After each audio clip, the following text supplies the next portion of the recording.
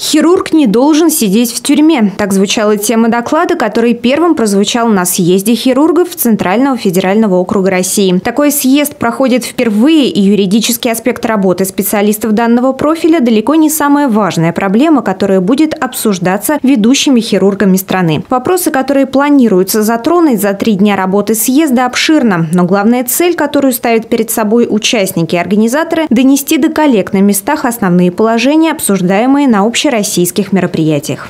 Основной, э, наверное, задачей, как мне кажется, э, стоит э, такая. У нас появилась инициатива разработки национальной стратегии развития хирургии во всей стране. И вот сегодня мы это обкатаем, в кавычках, на примере Центрального округа и сделаем следующий шаг уже к составлению национального проекта для всей страны.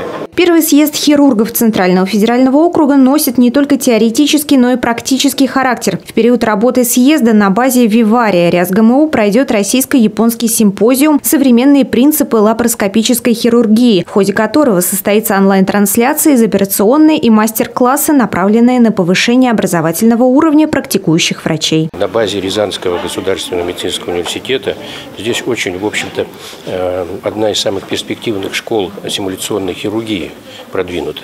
Должен сказать, что здесь будут представлены вживую вот, оперативные вмешательства новых современных технологий, которые представят наши ведущие профессора.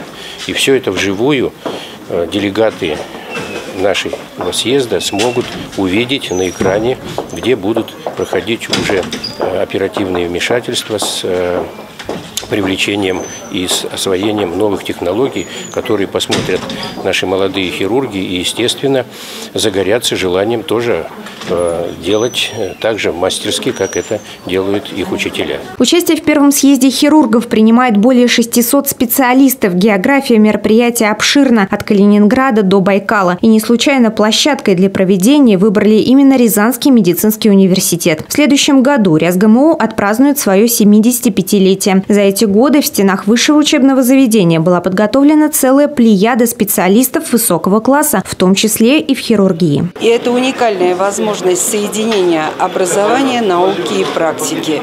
Наверное, обучающиеся э, вуза смогут увидеть изнутри профессию хирурга, потому что каждый из них стоит перед выбором специализации своей. И вот этот трехдневный форум Э, возможность общаться с знаменитыми хирургами России и увидеть изнутри эту профессию. В день открытия съезда специалисты со всей страны получили возможность ознакомиться с новейшим медицинским оборудованием, которое используется на сегодняшний день в хирургии. На выставке были представлены различные аппараты и тренажеры. Были среди них и такие, которые моделируют рабочую полость при лапароскопических операциях. Все это наглядно иллюстрирует прогресс в медицинской области и, безусловно, несет практическую пользу. Ведь конференция призвана оценить степень развития и оказать содействие в широком внедрении в клиническую практику современных технологий. Напомним, работа первого съезда хирургов Центрального федерального округа продлится в течение трех дней на базе Рязанского медицинского университета.